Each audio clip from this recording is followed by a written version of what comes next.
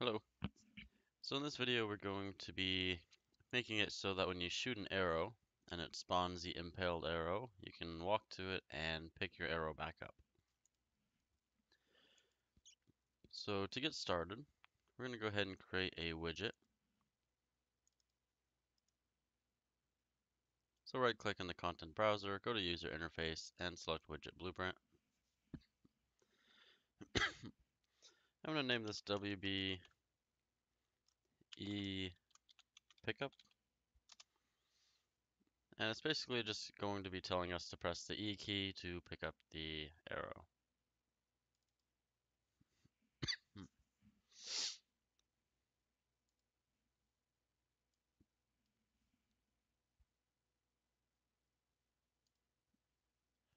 So I've got a little widget that I made for this. You guys can use whatever, or a texture that I made. And you guys can just use whatever textures you have for it. It's just a small E key icon. So let's open up our E pickup widget. First thing we're going to do is erase the canvas panel. And in the top right corner of our designer here, we're going to change from fill screen to desired on screen. Search for a vertical box. We're going to place our vertical box right here in our hierarchy. Next, we want to get an image. We're going to place the image inside of our vertical box. Then we're going to get some text, and we'll place the text also in the vertical box. If we select our image, we can set our texture. I'm going to change the size of this one to 50 on the X and 50 on the Y. And we're going to have it horizontal and vertical aligned into the center. And we'll change the text of the text box to pick up.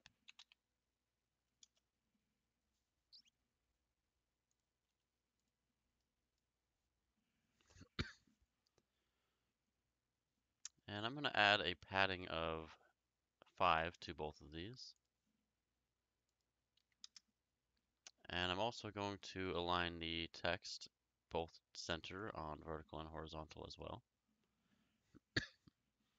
and compile and save, and we're done with the widget now.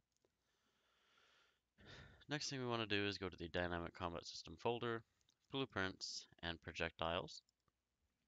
Let's open up the BP Impaled Arrow. On the begin play, I'm going to place it after the set static mesh. We're going to cast to combat character. Get player character for the object. right click the as BP combat character pin, promote to a variable, and we're just going to name this player.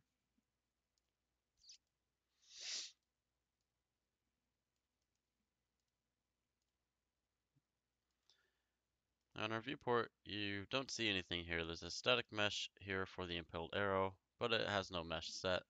Reason why is because it actually sets the mesh depending on which arrow you shot.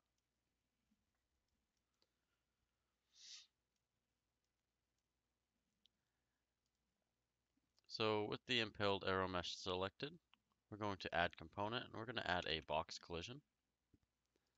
I'll just name this pickup collision.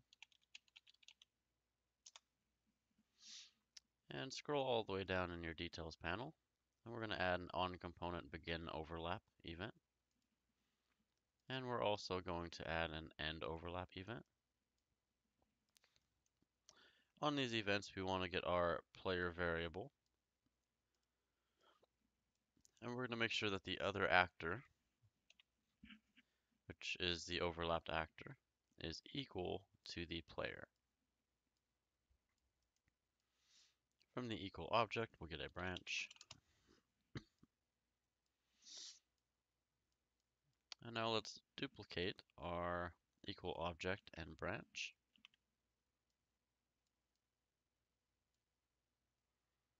And plug these pins in here.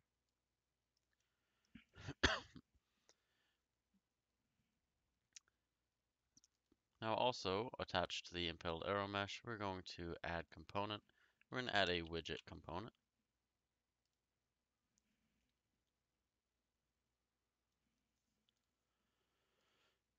And drag that into your graph. Also with the widget component selected, we want to make sure that we change visibility to false in the rendering section because we want it to start not visible.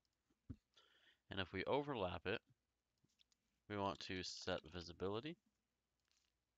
Oops.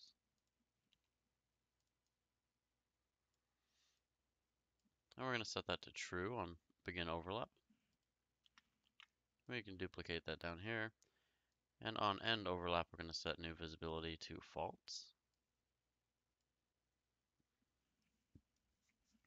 Next thing we want to do is get player controller. And from the return value on the player controller, we're going to enable input. Spawned connected to target, so let's make sure we change that. We want target to be self, and we want the player controller to be plugged into the player controller.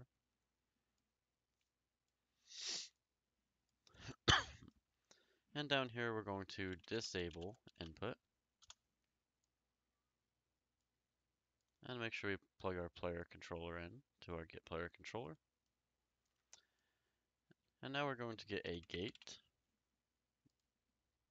It's going to start closed. And on the overlap event, we will open it. On the end overlap event, we will close it. And we'll use our interact event, the action event interact, which is right now bound to the E key.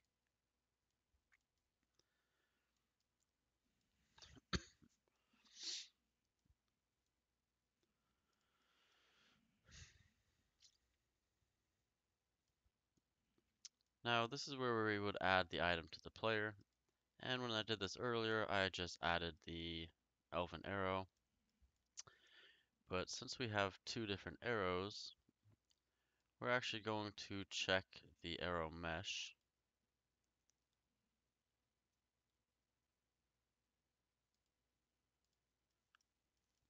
Yeah, so we will check the arrow mesh.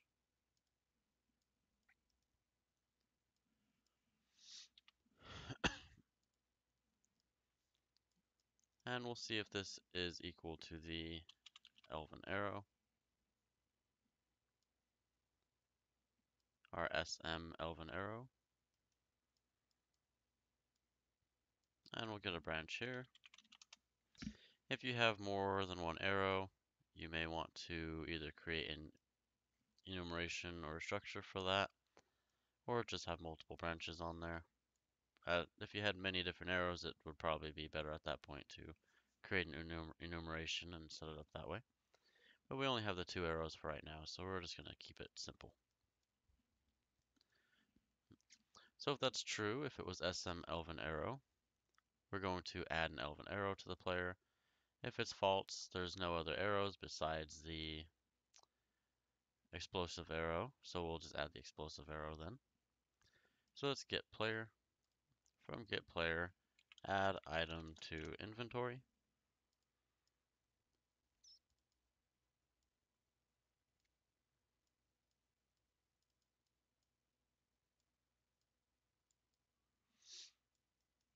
And let's go ahead and duplicate this.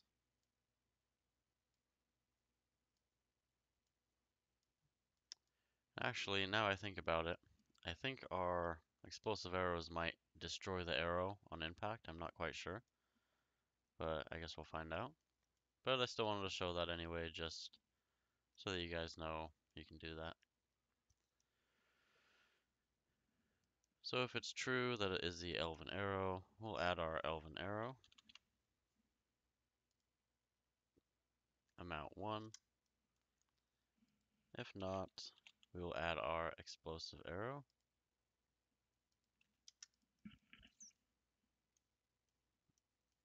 And after we pick it up, we want to make sure that we destroy it. Destroy actor.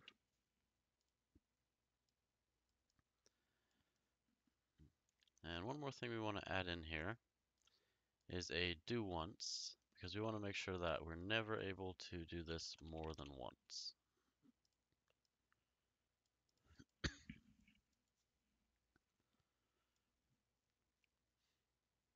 And we'll also change our lifetime to, let's say, 30 seconds.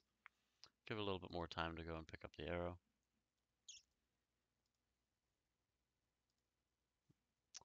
And let's go ahead and test it out now.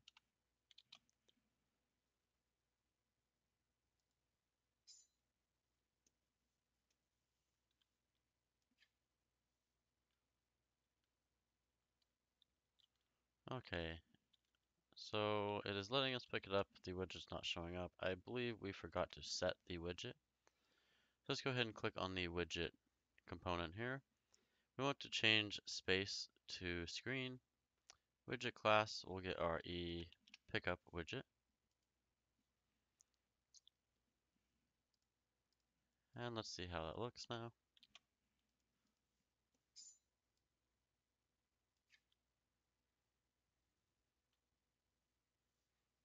Now it's telling us we can pick it up. The widget is a little out of place there. So let's actually try to detach this from the arrow. I think that's going to be a little better. So just click and drag it onto the impaled arrow mesh.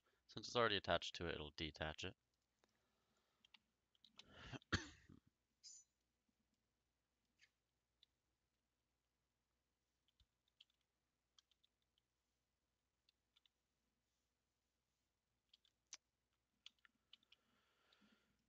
Okay, still a bit out of place. So I believe it was fine attached. Let's go ahead and reattach that.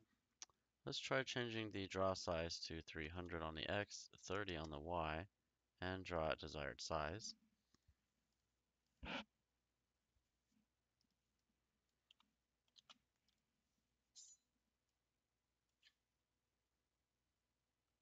There we go. Now it shows up right where it's supposed to.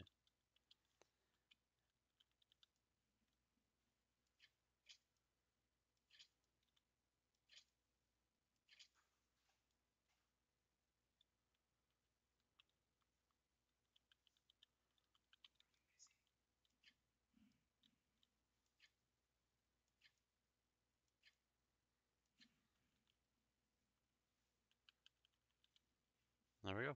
Now we can pick up our arrows after we shoot them.